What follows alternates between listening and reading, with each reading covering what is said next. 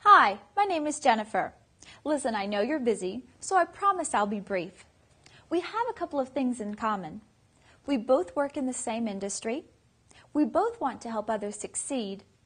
And we make a good living doing that, right? Well, I want you to consider for a second the experience of the richest man in the world, Bill Gates.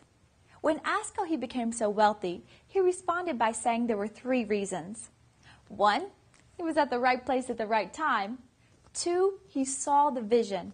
And three, he took action. Sound familiar? I want to introduce you to someone. Adam Paul Green is an industry leader. You'll find him interesting. Go to adampaulgreen.com. Get to know him.